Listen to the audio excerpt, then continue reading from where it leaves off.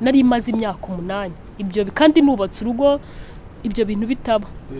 Muri iyo minsi ni bwo nabikoze numva uburyohe bwo kunyara n'uburyohe bwo kurangiza. Bituma mvuga ngo ngize ishyaka n'umuhate abamama bose bazaza inyuma yanjye n'abambanjirije bose ngomba kubahishurira iryo banga. Bakanyara bakanarangiza kuko ni cyo kintu kiryohera abagabo. Umugabo byibuze wakoze imibonano mpuzabitsina byibuze yakagombye kumara iminota mirongo itatu mirongo itatu iba ihagije kubera ko umugabo umugore aba arangije. Rero mu gihe wowe waba uri umugabo ukajya gukora igikorwa cy'abashakanye cyangwa se cy'imibonano mpuzabitsina wakozamo rimwe ugahita urangiza. Icyo ni ikibazo kibabaza ikindi ntago kuba warikinishije ntago ujya utekereza umugore ngo wumve uburyohe bw'umugore kubera ko abagore turaryoha ndabizi. Kubera ko nzi ukuntu ndyoha ntago rero kuba ugasanga umuntu yarikinishije aho kugira ngo atekereze umugore ni hahandi dufite ikibazo muri ino minsi kuko urubyiruko rwinshi ntago ruri gus- gushaka. Ah, ntago ndi umupagani navukiye mu idini rya deperi ndikuriramo n'uyu munsi ndacyari umwadeperi yewe ndi n'umuririmbyi ntashatse kukubwira ko ari n'aba ndirimbiramo ubwo buhamya ndabufite. N'abanzi bose bakubwira ngo tedi muganga ni umurokore. Kuba rero naba mvuga bino bintu ntabwo ari iby'imana yazigera impanira. Icya mbere ni uko byibuze ingo zakubakika kubera ko yesu yaravuze ngo mubwire abantu ibyururutse imitima mubabwire inkuru z'amahoro mubabwire ko yesu ari hafi kuza. Rero ntabwo uyu munsi yesu yaza agasanga iwawe hari umwiryane n'umushiha ntabwo icyo gihe uzigera ugera mu ijoro niyo mpamvu usaba buri mudamu wese yaba ari umunyagatulika yaba ari umurokore yaba umwisilamu yaba abadive gana muganga. Iyo uje ngasanga nta kibazo ufite ukanganiriza uko umeze n'uko ukora ibintu nkugira inama nkakubwira ngo igendera amahoro uzagenda ukora ibi n'ibi. Uwampa kumenya imiti y'amoko abaho yose navamo umuvuzi utazi ubwivumbure abaza bansanga nk'abasanganira nkeye ahakomeretse ngapfuka ahavunitse ngakanda. N'uje korora cyangwa akaya nkamureka agacira simuceho niruka. Burya amagara aryana azirana n'uburyamirane najya mbavura no gusaza nkabihinda ntibizaze. Ako ni agaseke. Mumerewe mute mu rwanda rw'iwanyu aho muri mukurikiye afurimakisi tivi inshuti bakunzi ba afurimakisi tivi ni kazi kenshi kandi gakomeye dufite uyu mwaka gatuma dukomeza gusura abantu hirya no hino batandukanye babayeho mu buzima butandukanye bafite impano zitandukanye bavura n'indwara zitandukanye. Uyu munsi turi kumwe n'umuganga yitwa tedi ariko mu kanya ndaje muha umwanya yivugire ndetse ababwire byinshi bijyanye n'uburwayi. Wasanga wari ufite nyamara utabizi akaba yaje ari igisubizo. Nitwa innocent valentin. Muhirwa wa muringa we witwa ndeme ndagushimiye kandi ngo uhaye ikaze. Ah, amazina yanjye ni mukantwari tedi nkaba tugiye kugirana ikiganiro ku myororokere y'abagore n'abagabo. Mu byatumye ngira intimba yo kuba navura bino bintu ni uko byigeze kumbaho. Nkaba ndi umumama uzi gukora imibonano neza nkaba nirekura nta kibazo.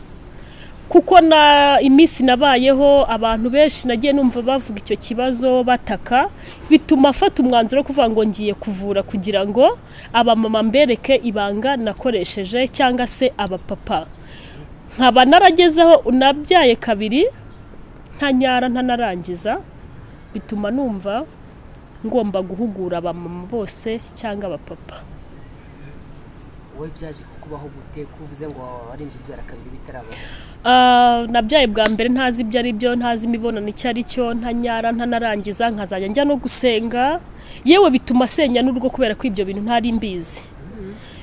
Njyana n'uwa kabiri nabwo ntabizi bituma umugabo arinda kunta aragenda kubera ko ibyo bintu ntari mbizi. Ariko niyo mpamvu ushaka guhugurira abamama bose ku buryo nta mumama uzigera usenya urugo bamubaza ngo ntunyara ntunarangiza kubera ko ibyo ni ibintu bivurwa bigakira.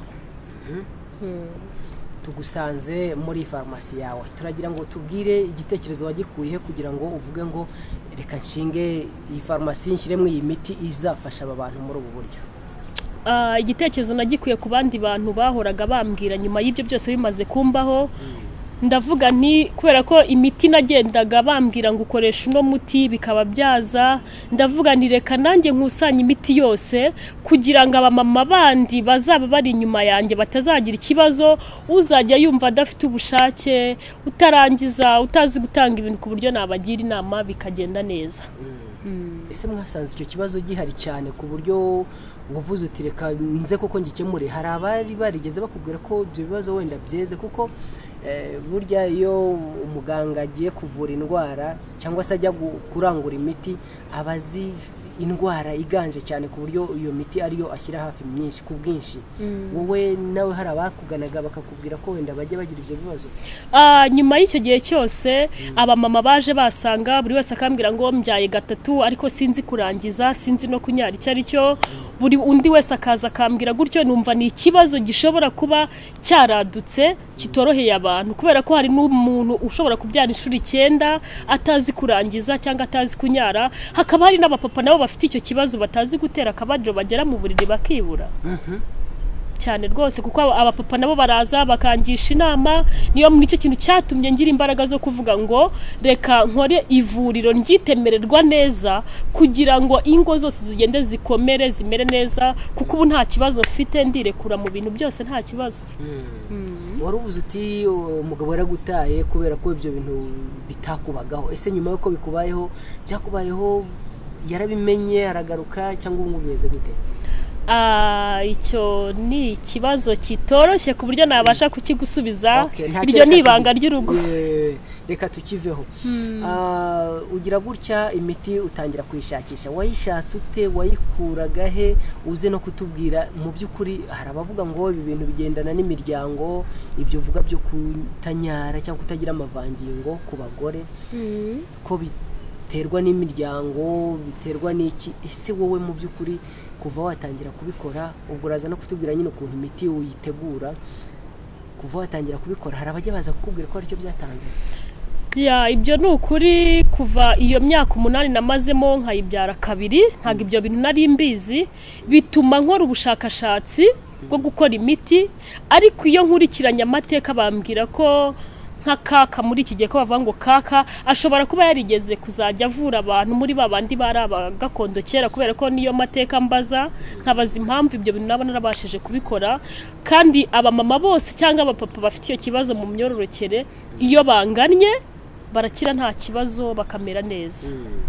Mbere y'uko turi buze kugera kuri iyi miti ukatwereka n'ibyo ivura. Ese ni ni- ni nka bangahe ku ijana reka wenda dukore ijanisha. Kuva watangira kubivura bakugannye baza kugushimira bavuga bati rwose wa muti waduhaye hari icyo wakoze. Ah, ngereranyije igihe maze ndi kuvura byanze bikunze ntago nakwiha ijana ku ijana ariko bya nka muri mirongo cyenda ku ijana bose baza kumbwira ko bameze neza ingo zabo zimeze neza nta kibazo. Umumama utaragiraga ububobere. Iyo angezeho ububobere buraza. Nkamwigisha uko agomba gukora ibintu neza urugo rukagenda rukagira amahoro nta kibazo akoroha akamenya ku buryo ari bwite ku mugabo kubera ko muri ino minsi ingo nyinshi cyane ziri gusenyuka umugabo akajya hanze hanze yagerayo akishakashaka akabona aribonye mu buriri igikorwa kikagenda neza ariko yagera iwe mu rugo ntago nzi nimba ari ikibazo cyo kurambirana cyangwa se kutaganira ugasanga mu rugo biranze. Ariko iyo babashije gutera intambwe bakaza bagasanga muganga tedi ndabafasha bose nta kibazo bikagenda neza. Nk'abarwayi benshi bakugana ese ubona uburwayi bagenda bahuriraho cyane ari ubuhe? O, urugero nko ku bapapa abapapa barangiza vuba bagacika intege. Kandi icyo numva ari ikibazo nta kuntu wabona umugabo ungana n'uriya.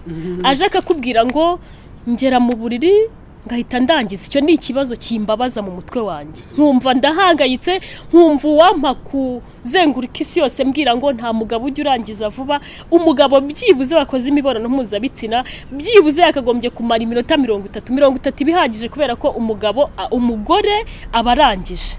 Rero mu gihe wowe waba uri umugabo ukajya ku- gukora igikorwa cy'abashakanye cyangwa se cy'imibonano mpuzabitsina wakozamo rimwe ugahita urangiza. Icyo ni ikibazo kibabaza wakagombye kugan- kugana muganga tedi akagufasha. Kuba mama ugasanga nk'umumama arajya gukora imibonano mpuzabitsina ugasanga arakomeye. Uwo rwose ngewe ndakurahiye ntago nanabikora nakubwira niba wigendeye gato uzabanze witegure kuko birababaza cyane ku bamama nk'uko mbizi. Ukaba warababoneye ibisubizo. Ibisubizo birahari umumama wese uvuga ngo ntarangiza. Kandi abamama benshi cyane. Benshi cyane ntabwo barangiza ntibazi no gukora imibonano mpuzabitsina. Yewe ubushake buba bukeya. Umumama wese wumva ko yaba afite ikibazo cy'uko atarangiza cyangwa atazi uburyohe bw'imibonano mpuzabitsina yaza akagana muganga tedi imiti turayifite ukagenda ukamera neza cyane rwose. Urugo rwawe rukagenda rukamera neza mukishimana n'umugabo ku buryo ahantu hose umugabo yaba ari yagutekereza akaza. Cyangwa se yaba ku mupapa mpa nshingiye ku bintu nzi no ku byo nagiye mbona abamama bose. Bose uko bakabayeho. Mirongo cyenda n'icyenda ku ijana baroroshye banatanga ibintu neza. Rero niyo mpamvu mbwira ngo nta mupapa n'uyu n'umwe ugomba guca ku ruhande ngo ace ku rundi ngo umugore wanjye hari abavuga ngo ngo arabishye ngo arakomeye. Mirongo cyenda n'icyenda ku ijana abagore bose bararyoshye buri mugore buri mugore w'umuntu wese araryoshye niyo mpamvu nsaba abapapa kugira ngo baze batugane tubagira inama iyo tukugiriye inama tugasanga ntabwo ari ikibazo cyo kurwara tuguha ubufasha ukagenda ugakora ibintu neza. Ubona bipfira hehe ese ni ku ruhande rw'abagabo cyangwa ni ku ruhande rw'abagore? Nk'uko wari uvuze uti eh, umugabo akagera mu rugo ugasanga rwose arishatse aribuze kandi ari umugore we. Ubona bise bipfira ku mugore cyangwa bipfira ku mugabo? Ah, tugiye ku bagabo. Urubyiruko rwinshi rwarikinishije kubera ko ubuzima tugenda tunyuramo hari ababa bari muri eterina hari abagiye kuba mu bigo bitandukanye kugira gucika intege akenshi bituruka mu kwikinisha. Rero iyo umuntu ambwiye ngo yarikinishije niyo yaba yarabipimye n'umunota umwe. Akagerageza kubikora nk'umunota umwe cyangwa icyumweru kimwe. Imiti irahari muha umuti akagaruka mu buntu igitsina cye kikagaruka mu buntu nta kibazo kikagaruka uko cyari kimeze. Niyo mpamvu usaba umuntu wese waba ari umusore cyangwa ari umupapa yarikinishije bimugiraho ingaruka yaza nkamufasha nta kibazo agakora igikorwa neza. Uvuze ku bagabo gusa ese abagore bo ntibijya bibaho kwikinisha? Ba- abamama nabo bibabaho buriya cyangwa abakobwa nabo bagomba kuza tukabafasha. Ariko cyane cyane igihe ikintu kimbabaza cyane ni ku bagabo. Buriya umugabo aramutse aje akambwira ngo dutangire igikorwa agahita arangiza numva narira cyane. Menya na nahita naniyahura rwose. Kubera ko buriya byibuze mu minota icumi umugabo aba akiri kugutegura mu minota cumi n'itanu aba atangiye igikorwa noneho nanjye mu minota makumyabiri mba ntangiye kumwiyumvamo ni bwo nkubwira ngo ya minota irazamuka ikagera ku minota mirongo itatu twese tukagera mu gikorwa rimwe nkarangiza nawe ukarangiza. Eh, se biterwa n'iki wa mugani kuba abantu batekereza kwikinisha? Wowe nka muganga ubona akenshi biterwa n'iki? Kwikinisha bituruka ku bintu byinshi cyane. Urugero nko ku basore bashobora kuvuga ngo ntazarwara sida. Cyane cyane ha- cyane cyane tugendeye nko ku madini hari kutubwira n'ingaruka zabyo. Eh, hari abagenda tugendeye nko ku madini cyane cyane nk'ayo se tuve nk'abarokore. Ushobora kuvuga ngo batazambona nagiye gusambana cyangwa bakambona ndi kumwe n'umukobwa icyo ni ikibazo kindi gikaze. Akajyaho akikinisha akarangiza. Ariko azirikane neza yuko mu gihe azaba abaye umugabo azajya acika intege. Umugore. Eh, aza umugabo azajya acika intege nagera mu buriri yibure.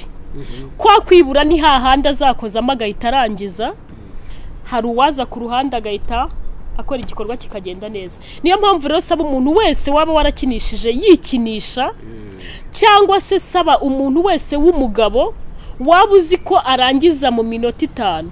Uwo nguwo nangane icyo kibazo turagikemura mu ivuriro ryamererwa neza ukora igikorwa kigende neza ushimisha umugore wawe nawe wishime. Kandi umugabo wese uzabona urangiza vuba ahorana puresha ahorana ibibazo ahorana umubabaro ahorana umushiha.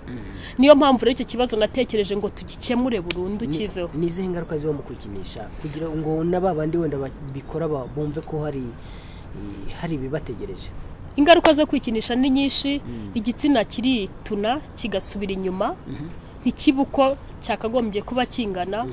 Ikindi ntago kuba warikinishije ntago ujya utekereza umugore. Ngo wumve uburyohe bw'umugore kubera ko abagore turaryoha ndabizi. Kubera ko nzi ukuntu ndyoha ntabwo rero kuba ugasanga umuntu yarikinishije aho kugira ngo atekereze umugore ni hahandi dufite ikibazo muri ino minsi kuko urubyiruko rwinshi ntabwo ruri gus- gushaka.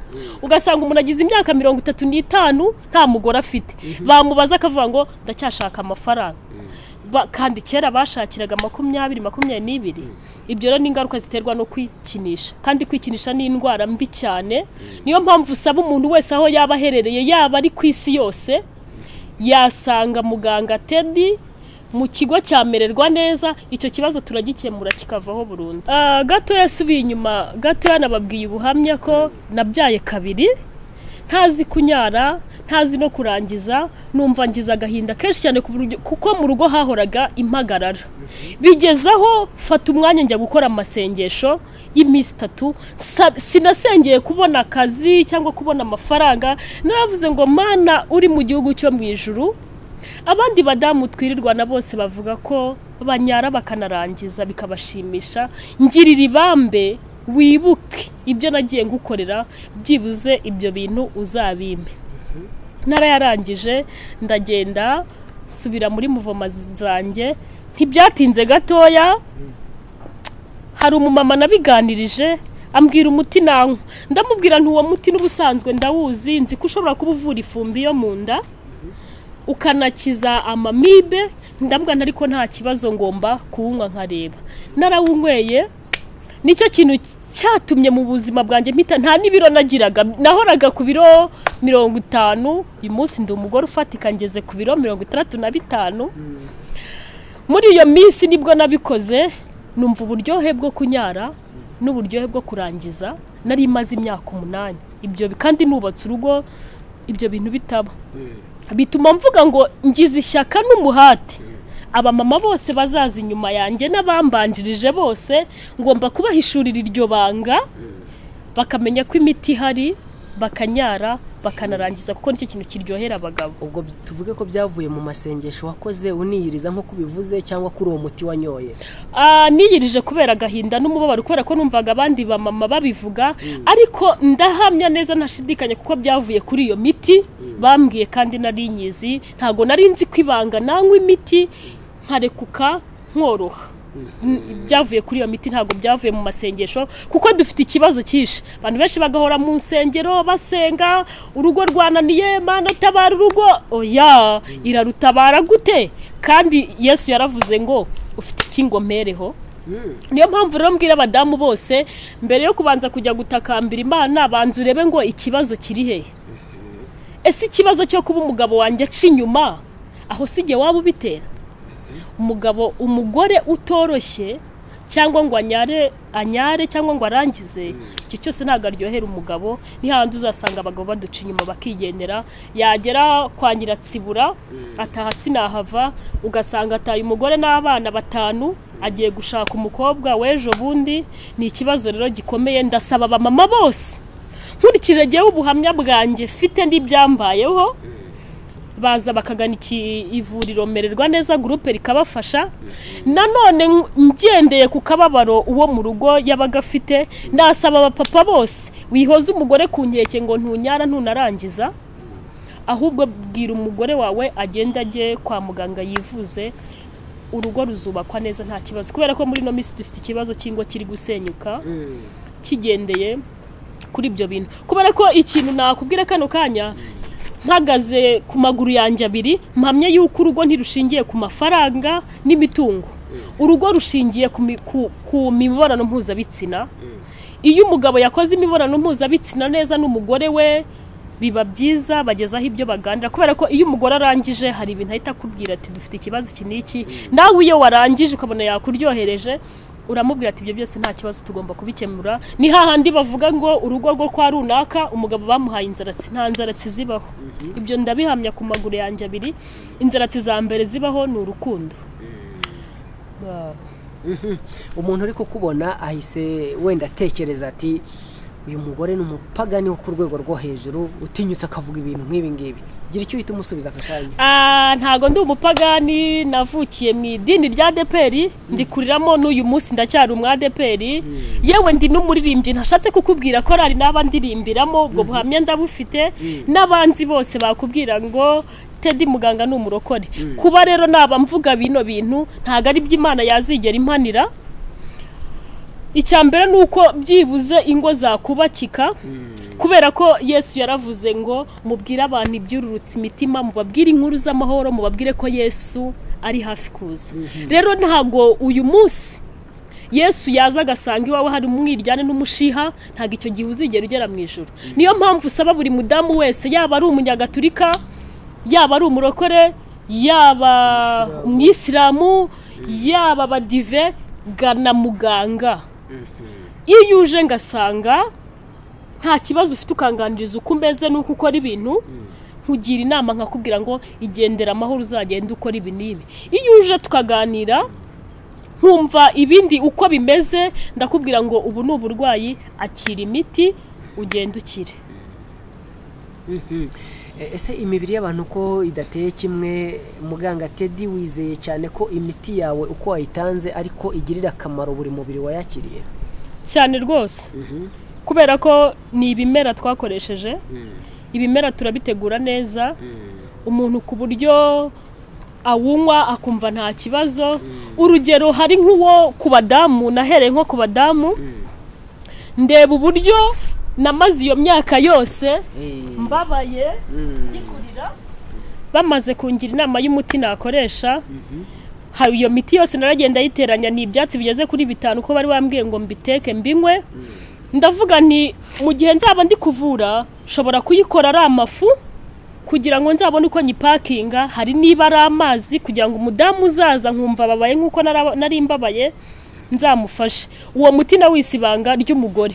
Umugore arawunywa akamera neza ububobere bukaza amazi akaza agatanga ibintu neza akirekura. Nkufatanya hamwe n'uwo bise ibanga ry'urugo. Uwo muti ibanga ry'urugo umugabo n'umugore barawukoresha bose uko bari mu rugo barangiriza rimwe. Kubera ko iyo abagabo bara- umugabo n'umugore iyo barangirije rimwe biba byiza cyane mugira ibyo muhita muganiraho. Ndakomeza njya gushaka noneho iy'abagabo y'umwihariko ku giti cyabo kuko nawe nabashije kuyimenya. Hari uwo twise kanguka mugabo. Ni hahandi ushobora kuba warikinishije? Iyo nguhaye uwo muti uragenda ukamera neza cyane. Turagenda noneho hari undi wo rwose bita susuruka. Ni hahandi bavuga ngo umugabo yaribuze? Hahandi umugabo bita ngo inkoko urayibona inkoko idoma idoma ku kantu ikamira ni hahandi umugabo agera mu gikorwa cy'abashakanye cyangwa cy'imibonano mpuzabitsina yakozamo rimwe bikaba birarangiye. Niyo mpamvu rero navuze ngo reka ashake susuruka mugabo ku buryo nugera mu buriri ugomba kwibona. Hahandi n'umugore muri kumwe avuga ati urakoze sheri dutekereje ku bagabo natekereje gukora busite busite ni umuti mwiza cyane nkorera iminatoro iyo ni imiti igendana no ku bagabo bikinishije bakaba banarangiza vuba bakaba banacika intege. Hari ukuntu umugabo ajya gukora igikorwa pe akagitangira igahita icika intege ukabona rwose nta no guhaguruka birababaza. Iyo miti rero irahari uramutse wumva muri ibyo bintu byose nagiye mvuga hari n'uwo twita getwa. Uwo nawo ufasha ku bagabo ku bijyanye n'igitsina cyagiye cyituna kikava mu buntu bwacyo. Uratugana tukagufasha. Uramutse rero wumva ushaka kugana ivuriro mererwa neza ukurikiranye n'ibyo nababwiye byagiye bimbaho ibyo mvuga jye ni ibyambayeho n'ibyo numvanye abandi wahamagara kuri nimero igendanwa zeru karindwi umunani taratu kane kabiri gatanu gatanu karindwi icyenda nayisubiramo uramutse ushaka kugana ivuriro mererwa neza wahamagara nimero igendanwa zeru karindwi umunani taratu kane kabiri gatanu gatanu karindwi icyenda cyangwa ugahamagara nimero yindi igendanwa zeru karindwi umunani umunani tanu rimwe tatu kabiri mirongo itandatu. Waba ukoresha tigo nabwo wahamagaza zeru karindwi kabiri umunani tanu rimwe tatu kabiri mirongo itandatu. Ahantu hose waba uherereye mu rwanda ushaka kugana ikigo mererwa neza gurupe usanze muganga tedi nk'umugore wahuye n'ikibazo kikamubabaza nkarinda ubwo njya no mu masengesho ni ibintu byari bimbabaje cyane ni ukuri pe. Narababaye ndarira. Hahandi ushobora kumva yuko ni ibintu ntago njya mbyiyumvisha ariko njya ashima imana ko yagize iki ikemura Ufa- aho waba uri hose mu rwanda ufata imodoka ikakugeza nyabugogo uzamuka nk'ugiye kimisagara ugera kuri sitasiyo meru ura- uhamagara izo nimero hafi aho hari abantu bakungezaho nkagufasha nawe ukagenda ukazajya unezerewe urabibona ko meze neza ibiro byariyongereye. Ndi umumama ushima imana nta kibazo mu rugo mfite. Yaba n'abandi bose bazumva bashaka ko mbagira inama yaba ari mu madini bazansanga nkabaha ubuhamya nkanabereka uko bagomba. Pasitoro namara kubona iki kiganiro akagutenga. Bya bindi bajya bita gutenga cyangwa guhagarika uzabyakira ute? Nzabyakira neza kubera ko umunsi nari ifite ikibazo mbabaye. Nabaga ndi muri korari njye nararaga ijoro iki ndi iki kibazo nkikubaje kubera ko nzi ko eh, usanga mu madini batemera cyane eh, ikiganiro nk'iki ngiki dukoze. Icyo ni cyo kibazo dufite muri ino minsi kubera ko mu madini uyu munsi mereye cyane cyane muri adeperi ingo zabo zarindimutse cyane. Zirimo zirasenyuka. Kandi abo twita abapagani hanze ba bakobwa baryoheje bakubaka ingo ingo zabo zirakomeye. Ahubwo yaba yaba ari umupasiteri uzanyumva yaba ari uwo mu barokore yaba ari uwo mu baporo ndasaba ngo mushishikarize abagore banyu. Bagende bivuze. Bagane muganga tedi kumpagarika nta kintu n'ahandi? Nasengera n'ahandi. Icyo mpfa ni uko Eh, imana izampembera ko narokoye abashimishije. cyane. Nta kuntu uzabona umuntu yubatse urugo rumaze imyaka icumi batangiye kubona umwuzukuru ngo urugo rurasenyutse. Kandi amadini arahari. Ugasanga ni bya bindi na- nabwiye abantu pasiteri yagiye kubasezeranya bishobora kuba binambabaza cyane. Pasiteri arababwira ngo tugiye gusezeranya bano bantu. Ntabwo baba bagiye kubasezeranya. Ahubwo pasiteri we aba agiye kuzuza inshingano z'ibyo abantu bari bemeye gusezerana. Ahubwo pasiteri we agiye kubibakorera. Kubakoreraho umuhango. Eh, warangiza akakubwira ngo muzabana mu no mu byiza ngo mubyaye mutabyaye. Ako kanya arangije kubashyiraho umuvumo. Ahubwo yakagombye kubabwira ngo mugomba kubaka urugo mukamera neza. Ashingiye uko yubatse urugo. Nicyo kibazo dufite muri ino minsi. Ingo zifite ibibazo. Rero nibagana ivuriro mererwa neza mbafashe jye nari mbabaye. N'uyu munsi ndabihambya mba numva uwampa mikoro ishobora kuzenguruka isi yose. Nta mumama n'uyu n'umwe. Utanyara cyangwa ngo arangize. Nta n'umugabo ubaho. Ucika intege. Umugabo igitsina cyitunnye nazi. Uwo yambabaza nanarira rero niyo mpamvu icyatumye izo ngaruka zose ziba twaragikemuye imiti irahari nibatugane kuri mererwa neza tubafashe. Ni izihe ngaruka zabamo mu gihe umuntu yaba yanyoye doze irenze cyangwa se yanyoye uyu muti akawunywa ari mwinshi?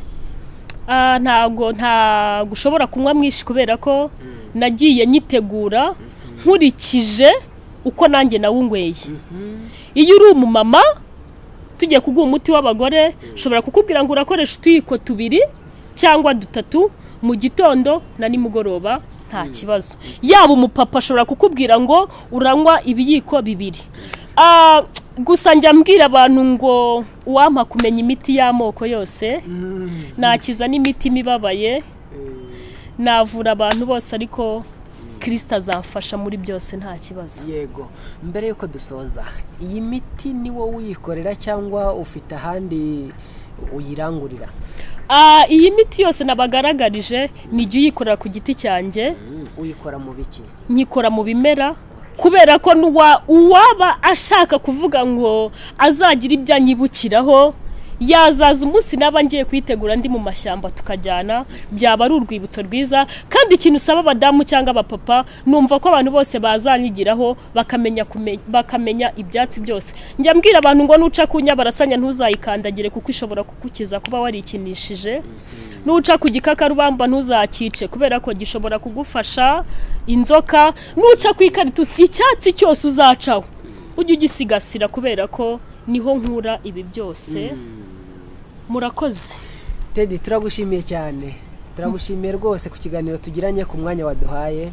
Eh, tukwifurije rero gutera imbere tukwifurije gukomeza gukiza abantu. Wa mugani wawe abakugana nibo niwo ubazi ibibazo baba bafite ukomeze ubiteho ukomeze ubakemurire ibyo bibazo ukomeze ubafashe kumererwa neza nk'uko eh, n'iri vuriro ryitwa mererwa neza gurupe murakoze cyane namwe ndabashimiye. N'ubutaha muzagaruke kugira ngo mbashe gufasha abanyarwanda n'abari impande z'isi zose. Tukiri aho gatoya ndafa hari icyo nasobanurira ku bantu bari ku isi yose bazambona. Nemerewe kohereza imiti mu mahanga aho ariho hose. Nendaga kubaza nti umuntu uri kure uwo muti uzamugeraho ya ku bantu bose bari mu mahanga nemerewe kuboherereza imiti ikabageraho nta kibazo. Uhamagara nimero zacu zimwe mwabonye imiti ndayohereza indege ikabageraho mboherereza resi mukanyereka ko nta kibazo. Aho waba uherereye hose ku isi. Nemerewe kukugezaho iyo miti murakoze. Urakoze cyane tedi inshuti bakunzi ba Freemax TV ahangaha ni ho turi gusoreza iki kiganiro. Eh, cyari cyiza cyane ariko umwanya ntabwo udukundiye ngo tube twakomeza kugira ngo muganga atubwire byinshi. Bwaba ubuhamya bwe bwite murabwumvise namwe ubwanyu mufite ubwanyu buhamya. Ariko ngira ngo aje ari igisubizo kuri benshi muri mwebwe mwari mufite bimwe mu bibazo ashobora gukemura. Nimero nizo mwazibonye ahasigaye ni ukuzamugana ubundi mukamererwa neza mu ngo zanyu mukazubaka zigakomera. Ndamushimiye cyane muganga tedi nshimiye namwe mwese abo twatangiranye iki kiganiro kugera ahangaha tugisoreje. Wibuke imbere yawe handitse subscribe uhakande niba hakiri mu ibara ritukura. Ndetse ukande no ku ruhande kunzogera kugira ngo amakuru ibiganiro udushya bitandukanye Afrimax TV gutegurira bijye bikugeraho ku gihe. Ndabashimiye cyane nitwa Innocent Valentin muhirwa wa muringa. Imana iri Rwanda ihorana namwe.